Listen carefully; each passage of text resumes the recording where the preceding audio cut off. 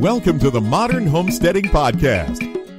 We have allowed ourselves to become so disconnected and ignorant about something that is as intimate as the food that we eat. Be prepared to grow your own for victory.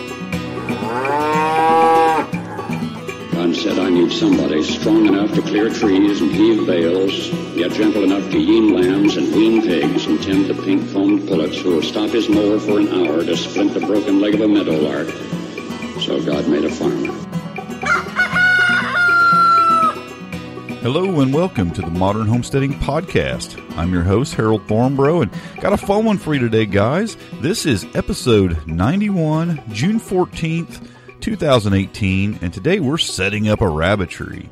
Uh, our question today comes in from uh, Ty, so I just kind of want to jump right into it because uh, I think there's quite a bit here. I want to, I just want to get to it because uh, I want to drag it out too long.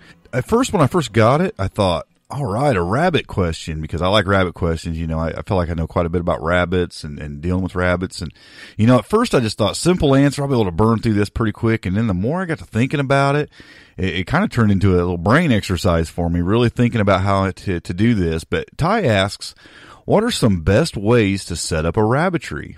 I have three does and a buck in separate outdoor hutches at this time. I have been receiving large amounts of requests for rabbit meat. So in order to capitalize, I want to expand my operation. I was thinking of building a small rabbit specific barn, but I have no clue where to start. What should the dimensions be? What type of ventilation should I use? What kind of watering system works best? Should I make it climate controlled, etc.? And how to do all this without breaking the bank? Great question. Had a lot of fun thinking about this one. Um, well, you know, I have to assume some things when you say you want to increase your your uh, operation or expand your operation. I mean, I don't know what exactly that means. How how big you're wanting to be. You you have right now three does, one buck. So I'm going to make some assumptions on this, and you can scale up or down according to what I talk about. And I'm going to build a rabbitry. I'm going to triple. I'm going to triple your uh, your operation. We're going to go like nine does and probably a couple bucks. Uh, maybe two or three bucks. So we're talking, you know, a dozen uh, rabbits uh, breeding stock. Okay, roughly. You can alter that one way or the other just a little bit if you want, or, or whatever. But that's that's a lot of uh, that's a lot to take care of. It's a you know it takes up quite a bit of space too. You're going to be surprised as we we start talking about just how much space you might need uh, for even that many rabbits when you consider grow out pens and things like that. So we're just going to jump right into it. Uh, first thing you're going to probably want to consider is where to put the rabbitry. Now, when I received your question, uh, you said you were in Louisiana, so uh, obviously uh, it's hot there. I mean, uh, I'm in Indiana, you're in Louisiana. It's quite a difference in, in temperature. And um, one of the biggest challenges I have with rabbits is the summer heat. I mean, they don't like it. Um, it can it can hurt them. I mean, it can it can kill your rabbits. Uh, so you know, temperature is going to be a big factor where you're at. Now, sounds like you're already raising some rabbits outside. You, you said you have your rabbits in outdoor hutches at this time.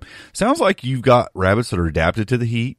They're doing well. They're outside in the weather, um, and they're doing okay. So I'm going to assume you just got a really good stock that's adapted to the to the hot weather, and you're fine there. So that's going to help. Um, you know, if you were if you were raising something that was uh, more of a show stock or more of a uh, fur, uh, something you were raising for the like a hair rabbit for the fur, or you know something like that, it would change everything about this. But these are these are meat rabbits. They're adapted to the weather, obviously, and um, you know so that's going to help. And so that, that opens up our options. It doesn't change a ton of stuff, but it does open up our options to what you might want to build. So let's talk about where you're going to want to put this rabbitry. You're going to want to put this rabbitry in the coolest spot you can uh, because you're in Louisiana. I mean, if you've got the shade of a tree or the shade of a building, especially in from the evening sun, that's going to be a good place to build this thing because you don't want the sun beating on it if you can avoid it. It's going to really help with the temperature inside that building. So that's the first thing I'm going to start off. I'm going to try to find a place to put this thing that's going to be ideal for the rabbits. Second, let's just talk about options for building design. Now, I think there's I'm going to look at three three options. Um, there, there's more. You can expand on this. There's some different ways to do this, but I'm going to talk about three that I think you might want to consider or or uh, uh, alter these three a little bit. Uh, the first thing I want to talk about is kind of just an op- open concept. Um, around here, if you go to like state parks and things, and it's probably this way where you're at, but they build these shelter houses in state parks where it's just a, it's just kind of like poles and a roof, and they always have picnic tables under that roof, and you can go in there and kind of hang out. This is a pretty good idea. I've seen several people do this in um, uh, climates like yours down in Florida, Louisiana, in that area. Is you just have a roof uh, and, and a shelter house, basically. Now, this isn't a building per se, like you're looking to build, but this can be a good idea. Now, you can take the uh, uh, the building, and and what you can do is, uh, if I'm putting this up, and I got to doing some measurements for this and what it would take. Now, I'm gonna like my, I'm going to go large cages for you. Uh, I like my rabbits in big cages, especially the does, because it gives them some room to to to have their kits, and and and as they grow up and jump out of the nesting box, there's a little bit more room in there to um, to hop around and move around and stuff. So I'm going to go with like uh, 36 by 36 cages. I mean, it's a big cage. You know, a three foot by three foot cage is a big cage. A lot of people say you don't need a cage that big for rabbits. I like I like big cages for my rabbits. If I'm going to raise them in cages, I want them to have some room in there to move around and you know play a little bit and do what they got to do. So let's go 36 by 36. And let's think about what it's going to take. Now, because expense is obviously an issue. I mean, let me just back up a little bit. If you were building this in a, if, if you already had the building, if you say you had a garage or, or a barn, you were converting over to a rabbitry, I would tell you differently. But because we're building from scratch, I'm going to try to save you some money and we're going to make this building a little smaller. Um, but, uh, and, and what I mean by that is we're going to double stack our cages. I don't usually like doing that. I don't do that. I don't actually have that kind of a setup in my uh, rabbitry. And, and by the way, I'm going to talk a little bit about my setup at the end because I did things ultra cheap, but you probably won't want to go the way I went, and I'll tell you why when we get to that. But you're probably going to want to stack your cages because it's going to it's going to drastically cut down on the price of this building. So we're going to go double stacked, and I'll tell you how we're going to set those cages up when we get to them, so that you know we're not dropping uh, urine from the top cage to the bottom cage on top of the heads of the other rabbits below. But by double stacking your cages, the building isn't going to have to be as long or as uh, it isn't going to have to be as long because your cages, of course, are double stacked. So, so how many cages are we going to need anyway? I for a operation this size, you're going to really want about 16 cages. And you think, well, why when I only have say 11 rabbits, which is what you're looking at if you basically triple your operation. The reason is you're going to have to have some grow out pens. I mean, these things are going to be constantly having kits, and and as those kits are weaned, they're going to have to go in separate cages uh, where you're going to raise them up to for for processing, and you're going to have to have some room for that. So you're going to need a few extra cages because um, you know just for the expansion purposes. So let's we're going to build a rabbitry if we're going to triple production. Like I said, you can scale this up or down depending on what you want to do. But we'll talk a little bit about the the numbers here in a little bit. Um, you're going to want about 16 cages of 36 by 36 start doing the math. That adds up. I mean, when you start considering the length, if you were putting these all in a row and not double stacking, uh, you're going to need like a, a, very long building because that's going to, you know, uh, we're going to run them right down the middle. Now, this first open concept building design I want to talk about, like I said, it's the open concept. It's just a shelter house type setup. You got a roof. You got, uh, you, you can use, um, big poles you build it like a pole barn. You just sink the poles into the ground every few feet, probably about every four feet. You drive a, a post in the ground, and and you're going to go around the top of that with say a two by ten, uh, all the way around the poles, around the top, and then you're going to set your trusses across that. And um, you can buy trusses pretty cheap. Now, how big is this shelter house going to be? This is going to be your biggest um, uh, building option because doing this, you can't put the cages on the sides because they're going to get rain on them. I mean, the wind's going to blow in sideways. They're going to get rain. So all your cages are going to go in the middle of this thing. And you're going to have to bring them about four feet in on the ends to keep them from just getting soaked all the time. You want them under the roof. Um, so you're looking at about a 20 foot by 16 foot shelter house. It sounds big. It is big, but it's like I said, it's open concept. We're going to talk about multiple uses for this thing in a little bit. Um, but here's the thing. I mean, it's not going to be it's not going to really be any more expensive than another building that's a lot smaller because you're not putting up uh, you're not going to have to worry about ventilation. You're not going to have walls in it other than uh, fencing, which we're going to talk about. Um, it's going to save you some money on several in several ways because it's basically just posts and a roof. Uh, and it can be a metal roof, it can be a wood roof with shingles. You can do that different ways. Both, you know, are good. Uh, wood's roof's going to be a little cheaper. Metal roof's going to last a little longer. So, and it's going to go up quicker. So, there's some different options there. If you're double stacking your cages down the middle, now you're going to want to build a wall down the middle, and and what I say by build a wall is you're going to have to put the studs in. You can put two by four stud wall down the middle. Now, why are we going to do this? Because we have to have a place to hang the cages. I mean, they're going to have to be attached to something. Um, because this is all wire cages. There's no wood involved in these cages, and we're going to talk about building the cages too, because we're going to save you some money on the cages. So I'm going to hang. I'm going to hang the, the or I'm going to put up a two by four stud wall. No, no, nothing on the outside of it except for tarps. I'm just going to hang tarps on that. And here's why we're going to hang tarps on it. Because we're going to double stack these cages. And on the bottom, on the bottom of the top cage, you're going to basically build a a, a sled system.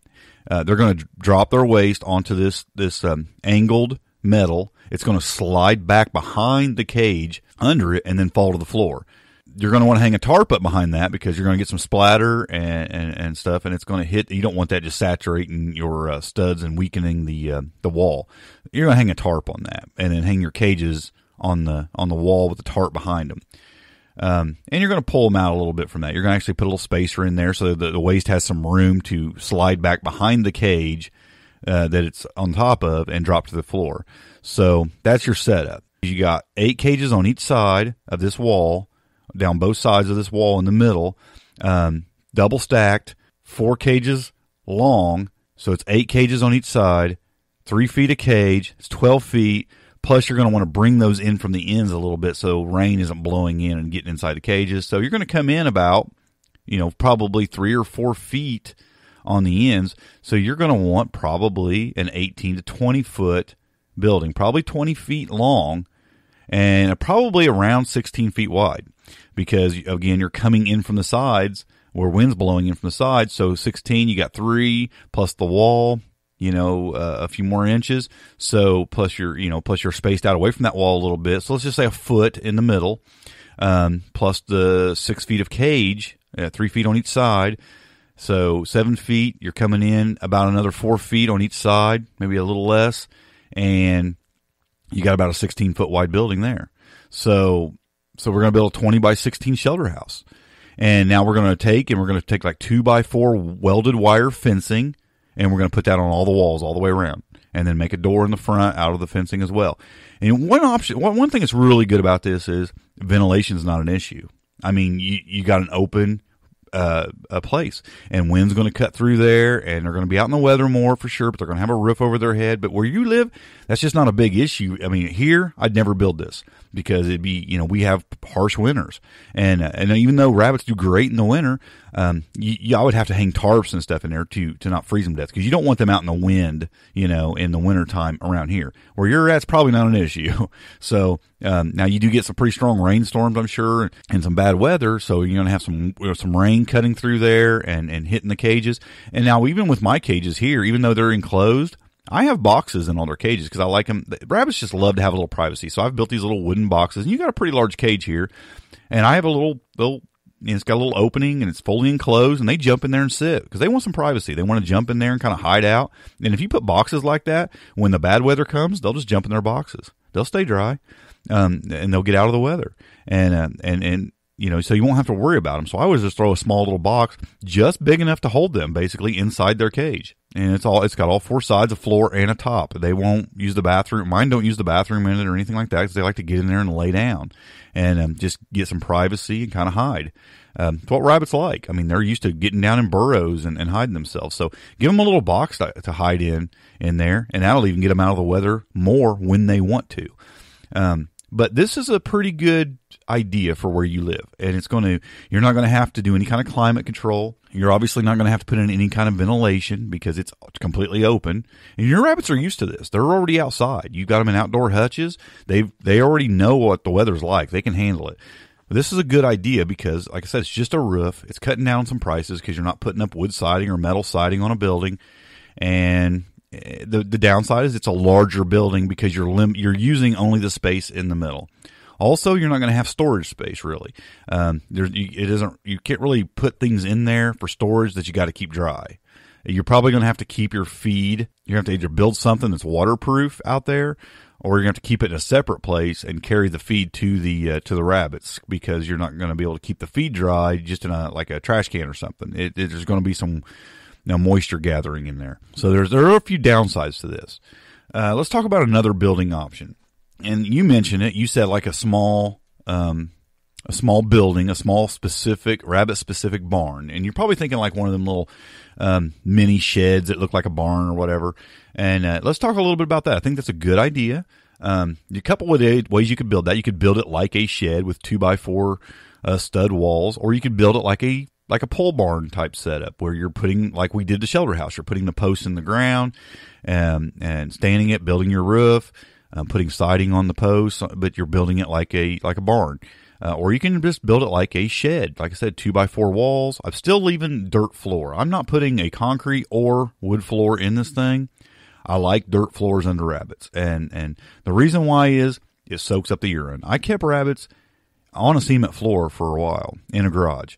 And, uh, and, and it just, you can clean that up and you can keep it fairly clean. But the fact is, urine sitting on that pavement and and the urine is what smells. It really does. Where if they're on a dirt floor, it cuts dramatically down on any kind of smell because um, that urine just soaks right into the ground, and you just don't have the smell issues like you do with concrete and, and definitely wood. It would definitely soak into wood and hang out on wood. So I definitely would not have a floor in this thing at all. It's going to be a dirt floor. So you're building a building and you can either choose if you're going to have it like a, a, a pole barn style where the posts are driven into the ground or uh, two by four uh, studded walls. Now, this is going to be dramatically smaller, and you might ask why. Well, we're going to be able to hang the cages on the outside walls, not down the center.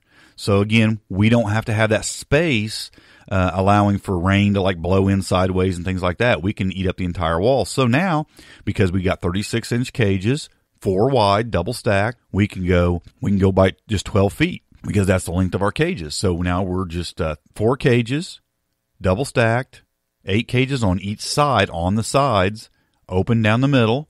So we got a 12 foot building.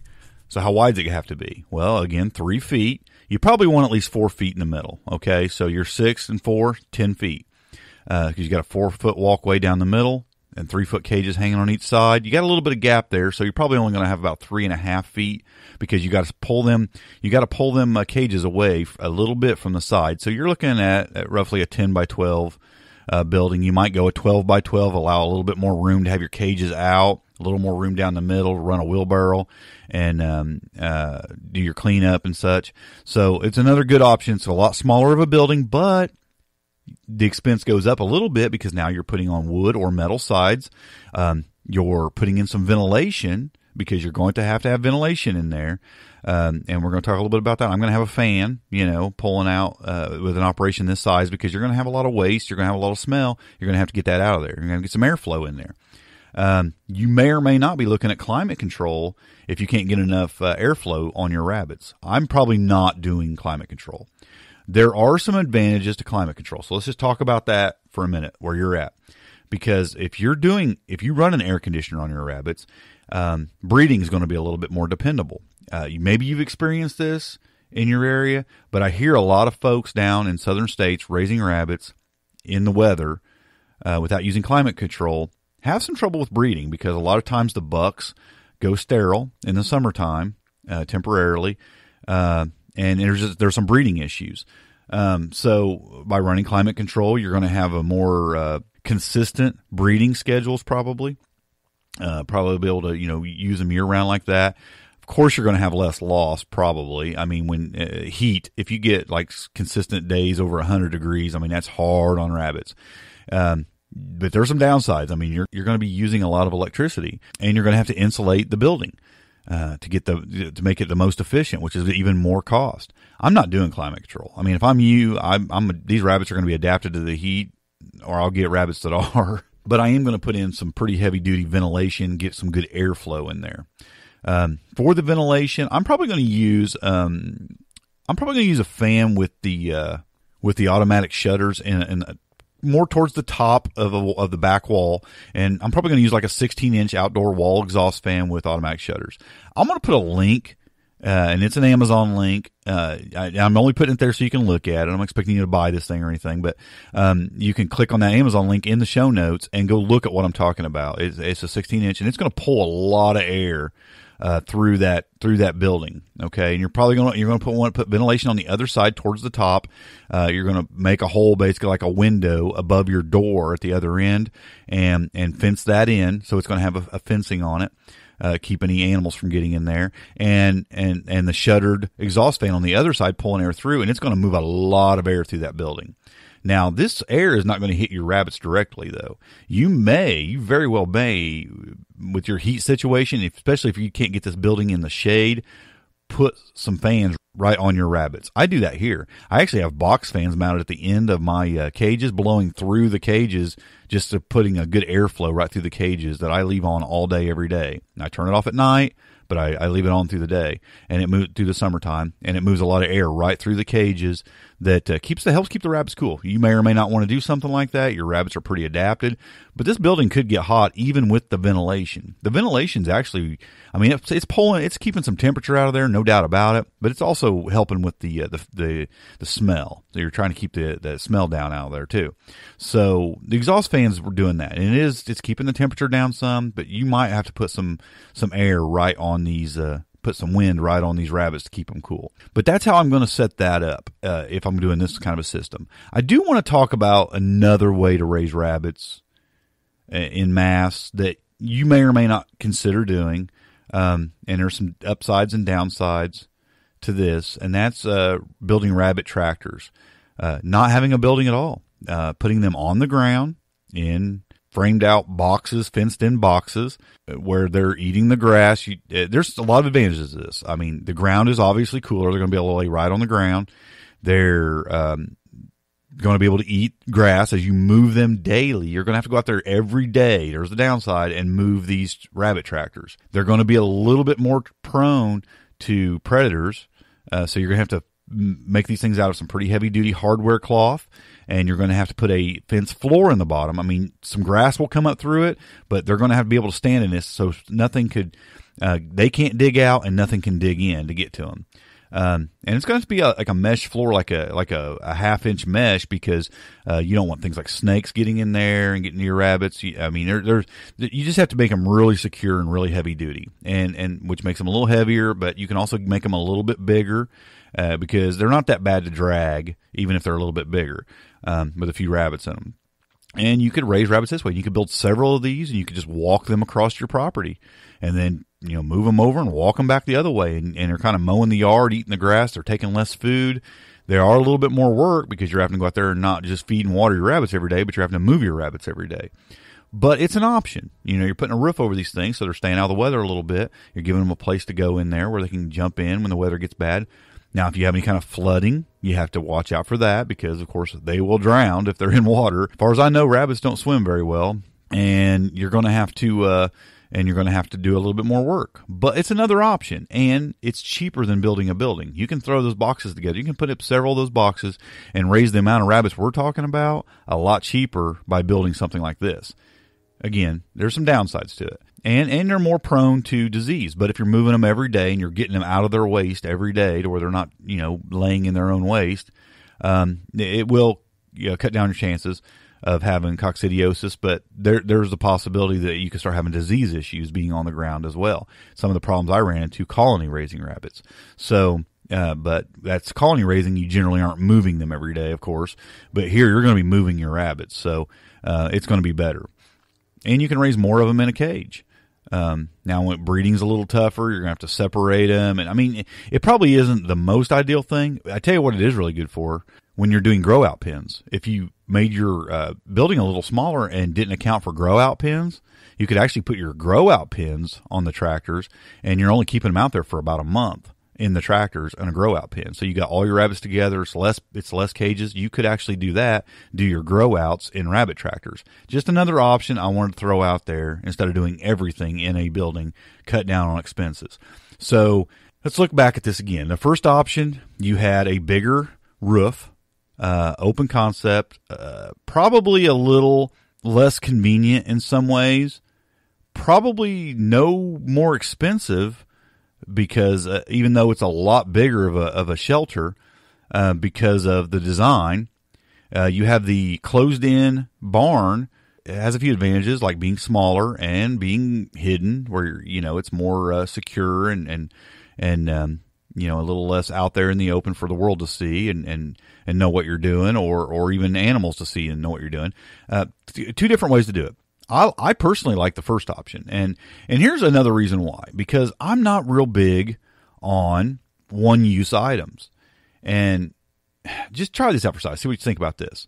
You got a building. It's probably going to be a little cleaner, a little straightened up. You got walls. You got you know it's it's going to be better, well kept this open concept building where you got fence all around. Now, when I said put the two by four wire welded fence all around this thing, also at the very bottom, I'm probably going to put about two feet of like one inch uh, the 16 gauge hardware cloth all the way around the bottom to keep smaller animals and keep snakes and things like that from crawling in to it.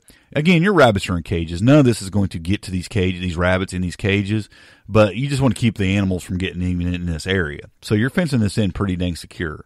Now, because I said I don't like one use items, here's another thing that this bigger open, um, you could do it with both, but the, the bigger open one is going to work better for this. You could, uh, of course, you're catching all the rabbit droppings in there. Okay. Now you're going to have to do pretty heavy cleanup. Uh, manure management is going to be really important. This thing's going to be a little easier to clean up. And also, if you have chickens, um, Something really good to do is run your chickens in there to kind of turn all that and throw it around, toss it around, and you can pile it back up. And you can also use this for a composting system. You can just keep piling the manure. You can go in there with a shovel, run your chickens in there for a day, uh, through the day, a whole day, and they will just turn that compost and work it and poop in it some more and really cook it up good. And then you can just go in there and shovel it back up underneath the cages and let it cook a little longer. And then you could do that every, you know, few days, let your chickens in there uh, let them just tear things up, clean up the poop, get out the bugs and mess with it a little bit, stir it up a little bit, go in there and pile it back up again until it's really good and composted. Then you can dig it out and you and pile it up, and now you got a good pile of compost, and the chickens have done the work for you. Uh, this is a great thing to do. You could do this in the in the in the enclosed building as well, but it's going to be a lot messier in there because you have a lot less room to work. In this building, you're going to have a lot more room to get in there and do that. The chickens are secure because they're in this fenced in uh, building. I think it'd be a pretty good idea, you know. And so your your chickens are getting some food and some work. Uh, your chicken and your your compost is getting turned for you and and getting uh, and becoming real valuable. And uh, and it's not going to be real hard for you to go in there and turn it because all you got to do is kind of go in there, scoop it, and pile it back up underneath the cages. Um, a little messy, but you know, livestock are messy, and I think it's a pretty good uh, uh, way to uh, manage the manure and use it properly. So there you go. So I think I just like making some use of, of a building in more ways than just one because I believe in function stacking, you know, and I think you could, I think that option would, would be a better option for, for using other livestock and, and even doing the compost manage or the, uh, the manure management. Um, let's talk about cages. Cages get expensive. If you're buying cages, um, you're probably looking at cages that are like 36 by 36. What was that, like a $40 cage? Uh, I get pretty costly. When you're talking 16 cages, that's pretty expensive. I'm going to make my cages from scratch. I'm going to save you some money here. I'm going to save you if you was to buy each one of these cages. I kind of figured it up. You're probably looking around 650 if you were buying each one of these cages individually, 16 cages. If you uh, build them from the hardware cloth uh, and, and, just make your own cages, you're looking at probably about 350. So you're saving a significant amount of money by uh, building your own cages. Just buy the um, 36 inch wide, half inch hardware cloth, and and uh, you can buy that. I, will put a link in the show notes for like 50 foot rolls, and uh, it's not too bad. It's like 58 dollars, I think, is what it was in Amazon for a 50 foot roll of that heavy duty welded gauge wire mesh. Uh, it's the 36 inch, it's the 19 gauge, 50 feet of it, half inch holes, and that's that's the best kind for their feet. Now you can go with a bigger mesh on the sides and the top and, ends that's a little cheaper, uh, bigger uh, holes, bigger gaps, um, if you want, or you can just build it all out of the the, uh, the half inch. But you're going to save quite a bit of money by building it yourself, and you're going to just get the uh, the the crimpers with the J hooks and make your cuts and and just uh, and make it all together. You're just going to make them like all these cages are. You're going to make individual cages. You're going to go four cages at a time. So you're going to go 12 foot roll. You roll out 12 feet, cut it, roll out another 12 feet, cut it. You know, do this uh, four times for your sides and your top and your bottom. And then you're going to cut your end pieces, and then you're going to cut the pieces that go in between each cage every 36 inches. And you're just going to stick those in. You're just going to go create. You're, you're going to be so tired of using those crimpers and those little J clamps that it, you'll be like upset and aggravated. But once you get done, you're going to be really happy because you saved a lot of money, uh, half half your money on cages. So, uh, but I, you know, mine are like that. They're all together. They're not, you know, they're not individual. I have some individual cages also, but the ones I normally keep the rabbits in are all put together like that, four holes long, and it works out really, really well. And something else you can do when that I've done when you build your cages like this that there's occasionally times where I have less rabbits. Like now, I have less rabbits. I've kind of downsized for a while. I'm kind of just taking it easy on the rabbits, and I have about half the rabbits I normally have. I actually put doors in between the uh, every other cage so I can open up the cages, and I and when I've got less rabbits, I double their cage size, and I let them have a little bit more room. So now they've got a six foot by three foot cage, which is a huge cage for a single rabbit, and it just gives them a little more room. Or if you uh, want to like do that, and you have less rabbits for a time, you can open them up while they're uh, uh, while they have their kits in there with them and give their kits and her a little bit more room to run around. You can kind of double your cage size. And then when you need that cage back, you just drop the door down and I just kind of, and I'll just kind of tie it up. I'll tie it up to the top. I'll just zip tie it up when I'm, when I have them open for a long period of time. I'll cut the zip tie and then fasten it back down. Um, when I just want it back to a normal cage, it's just another option. Uh, just you can do when you have all your cages together like that. You can actually make doors in between the cages in in the the space between the cages. So that works out really well. So you're going to save a lot of money on your cages. You ask about watering systems. I'm definitely with your system and where you're at. I'm definitely going with the brass rabbit nipple gravity uh, kits where you they have little brass uh, uh, waterers and you got a uh, quarter inch hose and a five gallon bucket. And I'll put a link to that kit and this this kit is set up for 20 uh, nozzles. Um, so you can build, put up to 20 of them in. I would still do the 16 and you just got you some extras in case one of them messes up or whatever. Something about these gravity feeds, uh, uh, uh, nipples, check them every day. Every day when you're watering and feeding your animals, go around and hit every one of those and make sure they're working. You don't want, especially in your climate, you do not want your rabbits going very long without water. So go around and hit those things every day and make sure they're all putting water out. Just take your finger and, and just press down on them and make sure they're uh, they're working.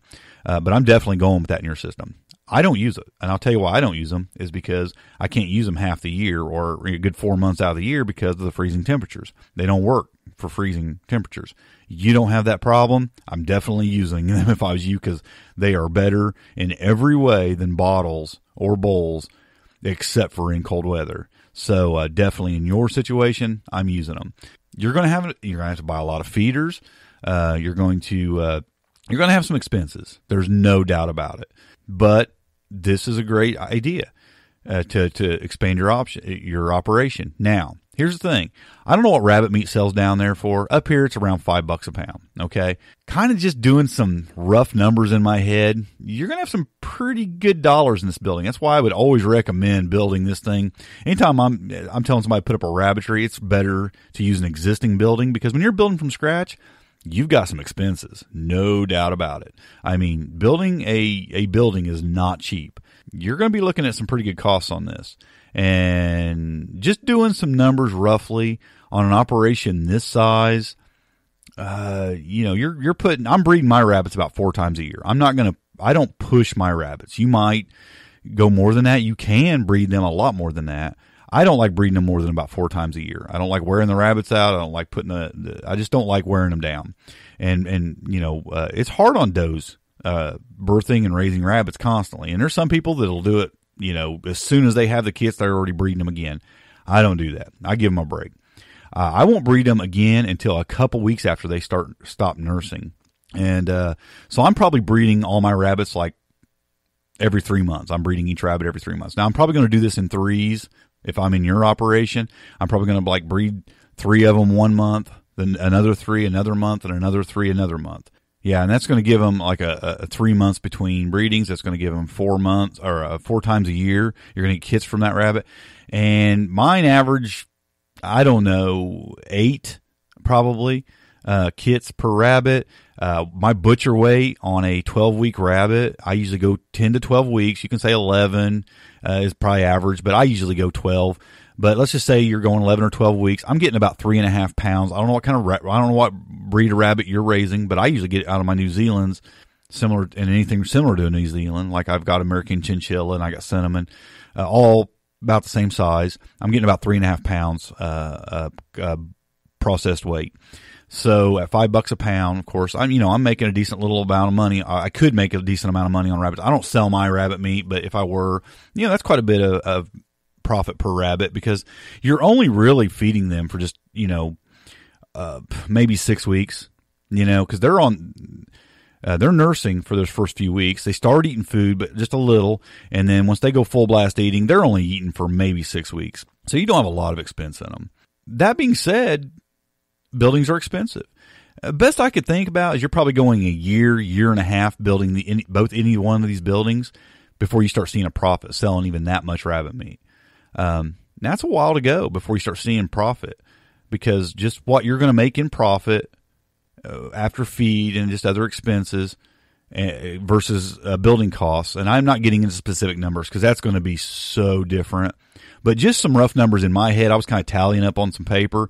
You're probably looking at a year and a half before you're going to start seeing a profit, even with the operation the size I told you about. Now, if you go bigger, of course you're making more profit, but you're also looking at more expensive building.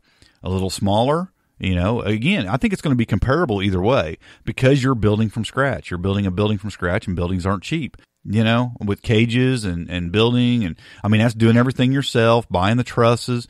Um, and you know, that's the thing, uh, like we was talking about the two different buildings, you're going to have bigger trusses on that shelter house. You're to have 16 foot trusses, right? That's, I was looking up some prices on that and that's almost 70 bucks a truss, uh, for your, for your, for your roof. Um, you know, on the other building, you're looking at like 40 something dollars a truss. It's about 25, 26, 27 dollars more for the trusses on that bigger shelter house than it was for that smaller one, and you need less of them because you're not as long. So, I mean, quite a bit of expense there. But again, you're putting up walls and a ventilation system and possibly insulation if you want a climate control. So, um, a lot of different uh, options here. I mean, I'm just I'm just spitballing all kinds of things out because when I got your question, it just got me thinking about all kinds of things. I mean, I'm thinking how would I do this and how would I do that, and, and you know, I don't mind spending other people's money, but I'm trying to save you some money. I don't want I I know because I mean, one of the benefits of of of raising small livestock is that they're they are cheaper to establish, and uh, one of the downsides is though the profit. Uh, you have to sell a lot more of them to make a big profit. So, and you have to sell a lot of rabbit meat to recoup those costs. So, again, you run the numbers on what you think you're going to make profit wise per animal. You consider what this building's going to cost you. You write down the material list and you kind of think this out and uh, weigh it up against it and say, does it make sense for me to sell rabbit meat or just eat it myself? There is money in selling rabbit meat after a while and on a large enough scale. But again, if you're building from scratch, it's going to take a little bit to recoup your costs.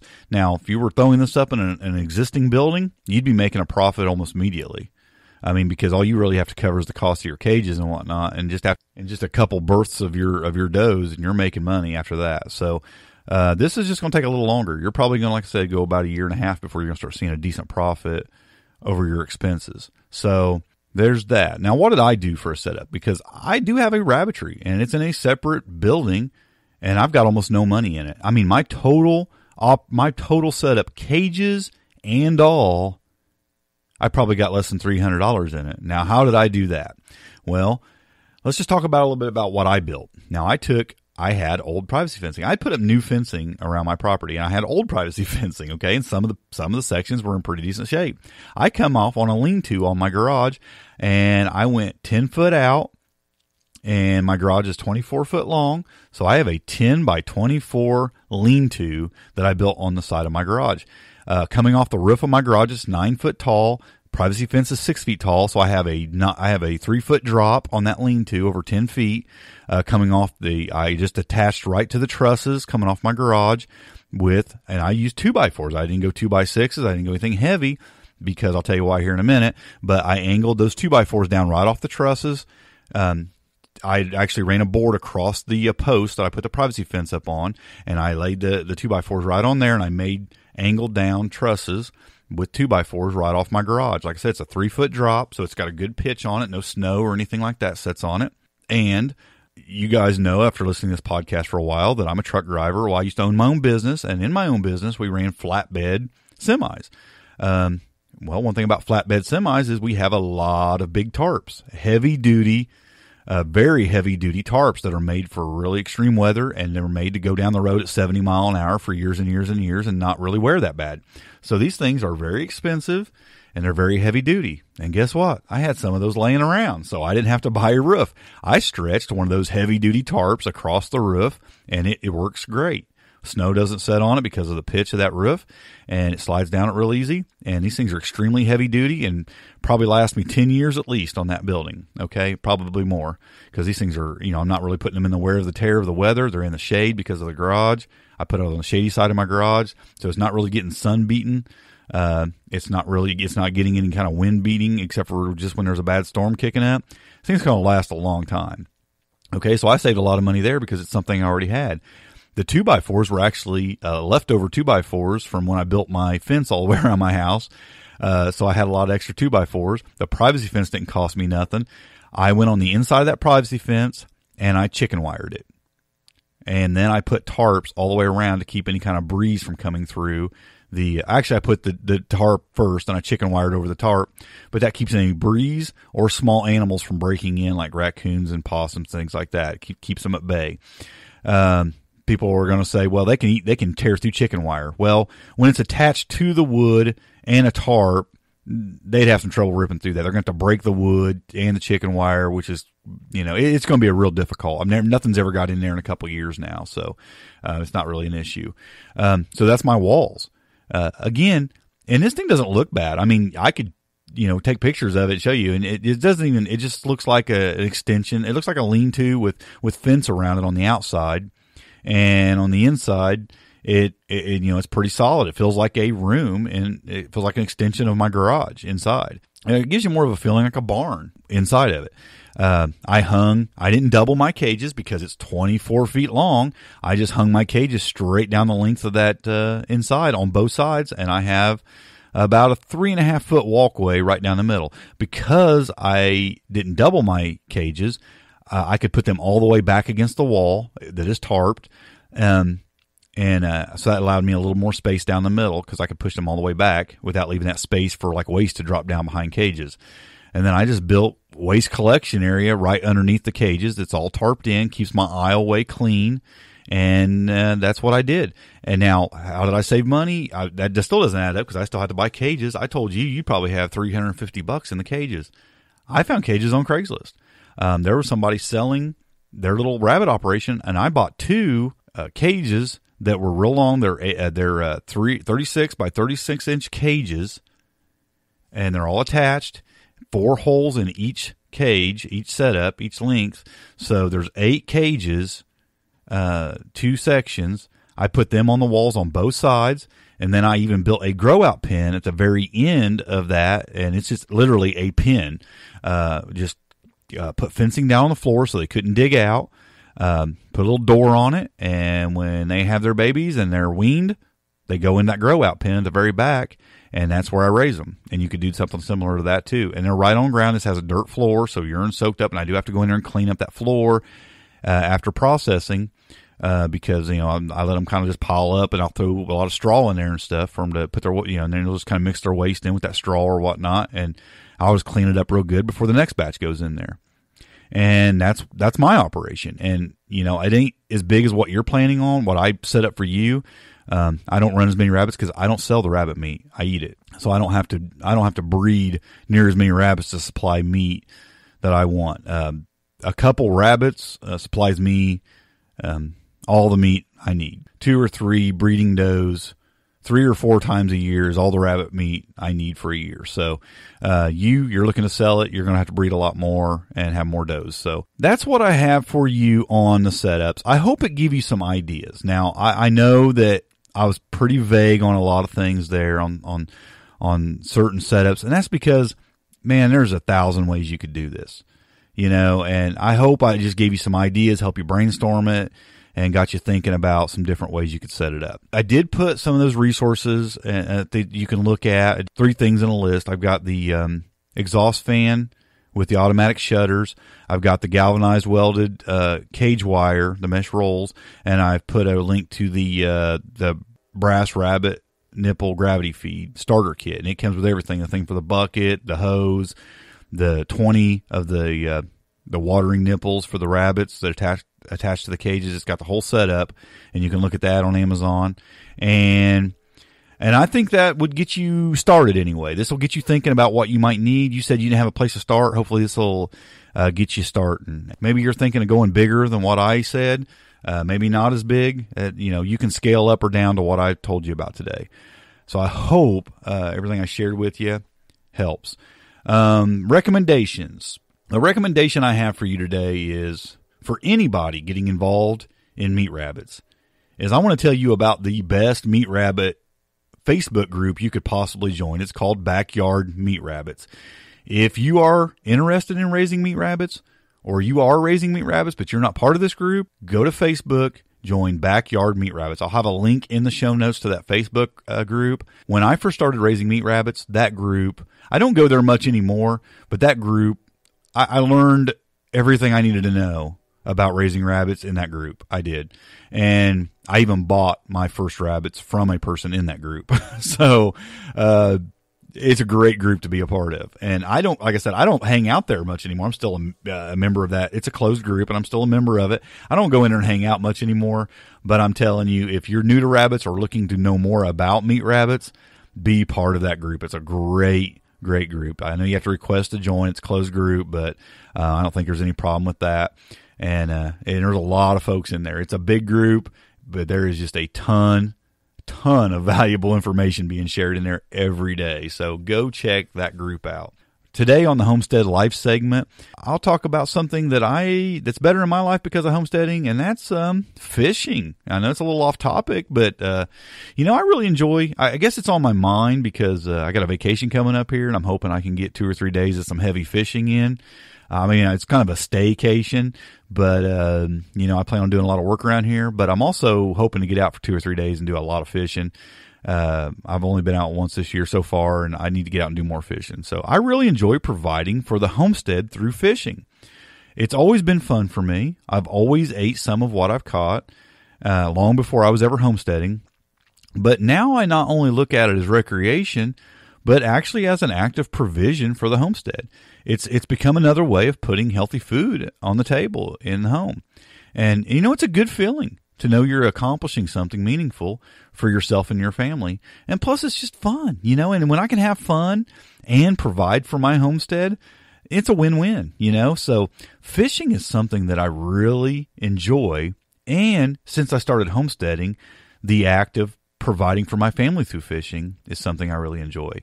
So, it's better in my life because of homesteading. As good as fishing was, it became even better because of homesteading. So that's what I wanted to share with you today in the homestead life segment. Uh, if you want to submit a question for the podcast, and I and you know, I've been getting quite a few questions lately, guys, and I really appreciate it. Uh, you can send your questions to ask at smalltownhomestead.com or call or text in your questions to our voicemail line at 765 203 1949. Submit as many questions as you want, as often as you like. I will get to as many of them as I can or I feel like I can answer. And I really, really appreciate you guys sending those in. It, it makes this so much easier.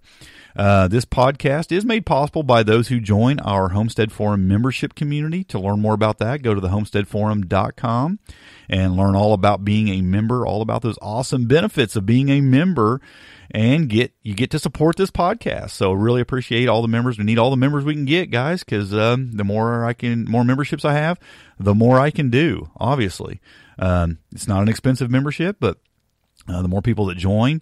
Uh, of course, it really helps pay the bills around here and makes it possible for me to even do more. And uh, we're uh, constantly looking at things we can do more of to uh, to help folks out and do more with this uh, what we're doing. You know, when I first started this, it was just simply me sharing uh, what I was doing to uh, to help other people get started. And it's really turned into a thing, you know. I mean, it's just turned into something so much bigger than I ever thought it would be. And the Homestead Forum membership community really helps that happen. So go be a part of that. We have a lot of fun in there. I get to do the live chats with folks in there every week and, and get extra podcasts and just all kinds of stuff. Go check out all the benefits by going to the homesteadforum.com. The show notes for this episode can be found at smalltownhomestead.com forward slash 91. And thanks for joining me today, folks. And uh, happy homesteading and God bless. Thanks for listening. To see the show notes for this podcast or listen to other podcast episodes, go to smalltownhomestead.com. There you can also read our blog, connect with us on Facebook, Twitter, and Google, and take advantage of the many resources we make available to help you along in your homesteading journey. Please share this podcast and help us to carry out our mission of helping others to homestead today for a better tomorrow.